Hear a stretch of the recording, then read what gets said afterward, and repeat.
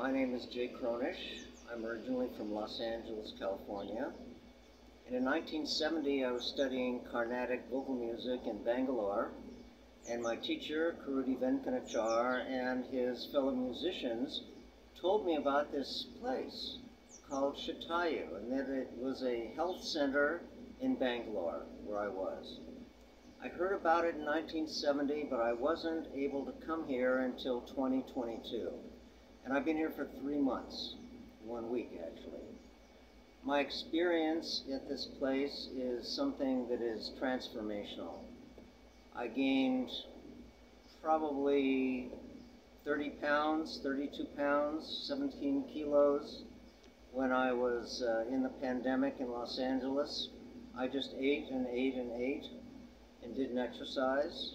And when I came here, one of my goals was to lose weight and to change my behavior, change my mental attitude about health and well-being, and really rejuvenate and get healthy. And that is exactly what has happened here.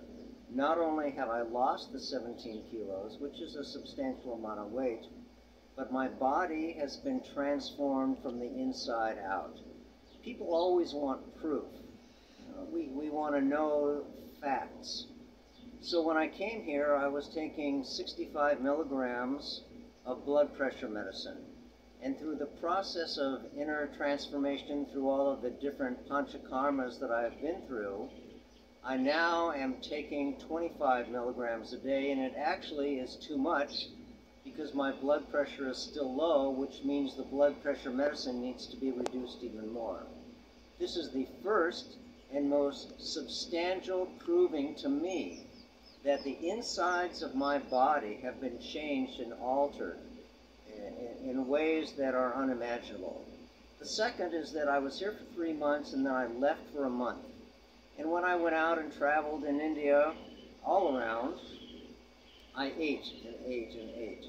I did not gain one kg because when I came back, I was actually a little bit less than when I left.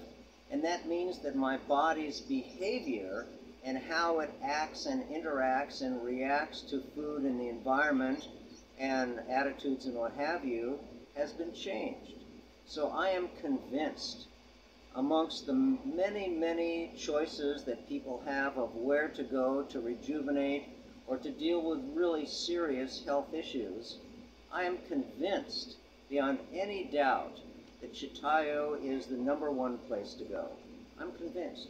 The doctors are superior, they listen, they care, they, they modify and create the treatments specific to your situation.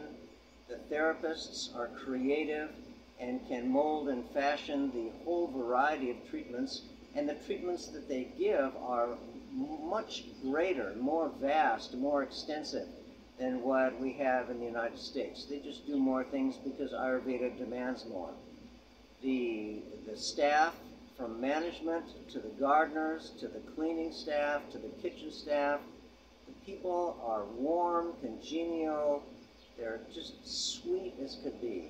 I have become part of their family and they have become part of mine and it's just a natural thing that has occurred. The food. Everybody loves their food. And in the three months that I've been here, I've seen many people come and be disappointed with the food only because of their expectations and what they're used to. The food here is sattvic, it's clean, it's pure, it's healthy. It is absolutely in alignment with the specific types of treatments that the doctors are recommending.